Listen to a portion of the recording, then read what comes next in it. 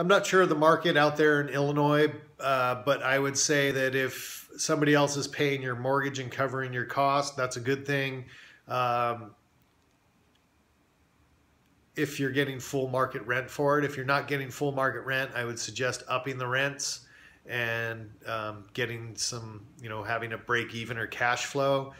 Uh, it also depends on whether that market's known for appreciation year after year. Um, if the market stays flat and there's no appreciation and it's basically just a cash flow is where you're going to get your money out of the property and you're not getting cash flow, I'd say get rid of it.